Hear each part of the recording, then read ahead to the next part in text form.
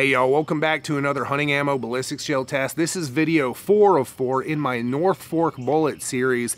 Today we're gonna be shooting their 232 grain copper expanding bullet out of the 9.3 by 62 Mauser. And here's the box for those .366 caliber 232 grain copper expanding bullets we're going to be firing out of the 9.3 by 62 Mauser.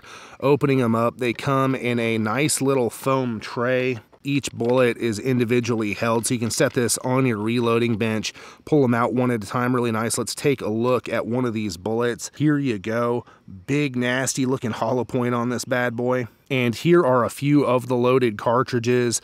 Again, look at that hollow point. I can't wait to see what these do.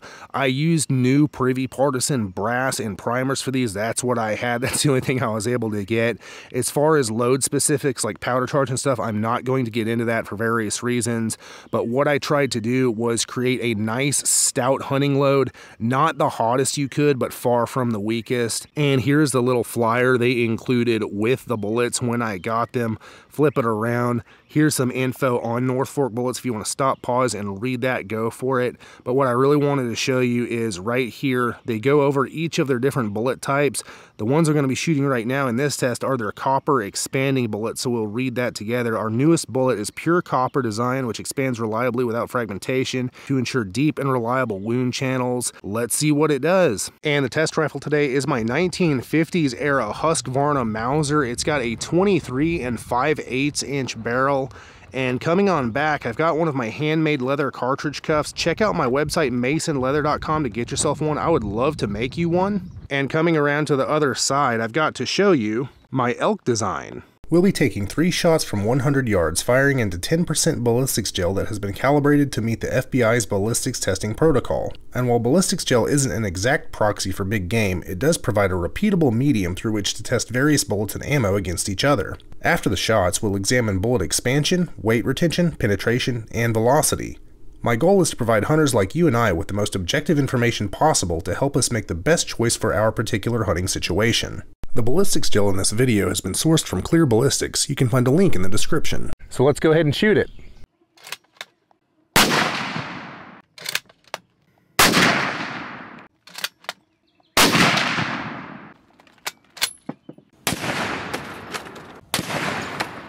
And let's take a look at the velocities for those 232 grain copper expanding loads out of the 9.3 by 62 Mauser. And these were hand loads, of course, and I had a little trouble again finding load data for 232 grain copper bullets. I tried to find something that was similar, and I, I didn't go real high end on it just for safety's sake, so the velocities might be a bit slower than expected for the bullet weight. are high was 2364, our low 2322, and our average was 2347. So these velocities are about on par with what you would expect from a 286 grain 9.3 by 6.2 load, but these are 232. And here we are down at the blocks after shooting those 232 grain copper expanding North Fork bullets out of the 9.3 by 6.2 Mauser. We did manage to capture not only three, but four bullets. We are not going to count that one. That one table skated these three did not, so these will be the bullets of record. These things fling this front block around like crazy. I had to come down here and pick up the block off the ground a couple times and put it back. But let's go ahead and take a look at penetration first. Our deepest is way back here, kissing 42 inches we'll give it. The next deepest is right here at about, we'll call it 35 inches. And then we have one right here at right about 30 inches. But interestingly, across calibers and loads that I've tested, you usually don't see this wide of a gap between the shallowest and deepest penetrating bullets. I can't really account for that. I don't know why that is, but it is what it is. And looking at this deepest bullet, it does look like we got some expansion there. Not nearly what I thought we would see from that big hollow point. And then this one looks like it expanded a little bit more. This is the second deepest. And then here here is the shallowest. It looked like this one expanded a little bit more than the other two. And really, I'm reserving judgment until I pull these things out, we weigh them, measure them, and we can talk about it then. Let's go over to the first block and see if I can show you any wound cavities. This first block got messed up pretty bad. Here, I came around to the other side. It looks like your bullet enters, it starts expanding right there at about the four inch mark or so, we get a bit of a wound cavity and then it closes off right about at the 12 inch mark. Not explosive wound cavity, which I wouldn't expect from a copper bullet. You usually don't see massive explosive wound cavities. And these things definitely look like they have some very controlled expansion. So let's dig them out and take a look. And here we are looking at those North Fork 0.366 inch 232 grain copper expanding bullets as fired from the 9.3 by 6.2 Mauser. First, we'll talk about weight retention. We saw 231, 231, and 231 grains for an average of, of course, 231 grains, so 100% weight retention. And really, I wouldn't expect anything or much less from a solid copper bullet, especially at these velocities. So, great performance. And then on to expansion, we saw 0.53 inches, 0.59 inches, and 0.64 inches for an average of 0.59 inches expanded diameter. A little bit of a range there, not too bad, and that works out to 1.6x expansion. And being that these bullets were going the velocity that they were, we'll talk about that next, I'm not really surprised about that. I wouldn't expect them to expand too much more than that. Solid copper bullets typically don't expand much more than about 2x, some make it to 2.1x, but with these going a bit slower than a lot of the higher velocity rounds I've tested solid copper bullets in, 1.6x isn't necessarily surprising, and I think if you were to push these faster, which you definitely could do in the 9.3 by 6.2 Mauser, you very well might see greater expansion. And on to velocity, our high velocity was 2364, our low was 2322 for an average of 2347. And like I mentioned earlier, I did have a bit of trouble finding load data for bullets like this. There is load data for 250 grain solid copper bullets and some other bullet weights, but nothing specifically for 232 grain out there that I could find. So really I worked with what I had and I loaded these a little bit conservatively. No doubt you could push these to quite a bit higher velocity. And so we just have to keep that in mind when we're evaluating the performance of this bullet, knowing that this was a hand load. I worked with what I had, and it could very well change maybe even substantially depending on how fast you push this bullet. And penetration wise, we got very deep penetration, a little bit of a range though 30 inches, 35 inches, and 42 inches for an average of about 36 inches of penetration. And for what these are, I think that's pretty decent. And on to kinetic energy with a 232 grain bullet going on average 2,347 feet per second, that works out to 2,837 foot pounds of energy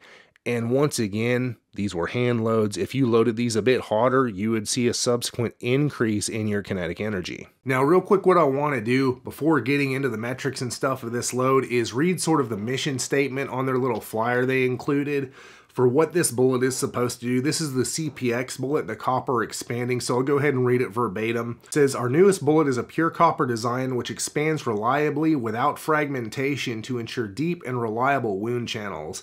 Well, I think it definitely hit that right on the head. Because we didn't have any fragmentation, we got some good wound channel, and it did penetrate deep, so there you go, one, two, three. All right, y'all, time for my final thoughts on those .366 inch, 366 caliber, 232 grain CPX bullets by North Fork as fired from the 9.3 by 62 Mauser and my own hand loads I put together all in all, I think these things did really well. Now remember, I used somewhat of a conservative load here with the 375 H&H and 30-06 loads that I did for these North Fork bullets. I went a little bit hotter.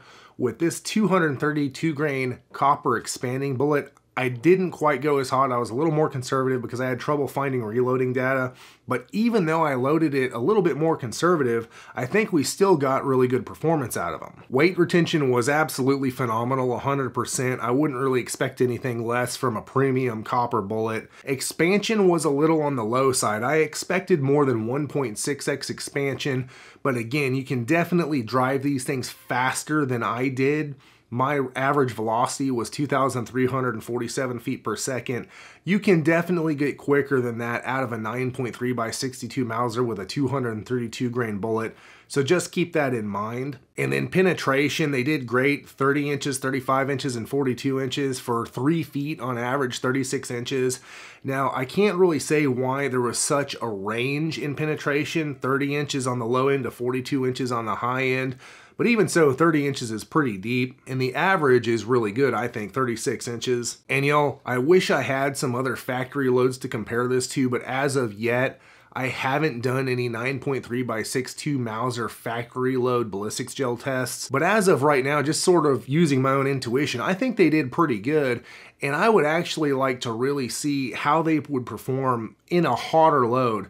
I may go back at a future date and, and put together some other hotter loads with these same exact bullets, try and drive these things closer to 2,500 feet per second and see what they do then. But all in all, I think these are definitely an option if you're looking for a non-lead bullet to reload in your 9.3x62 Mauser.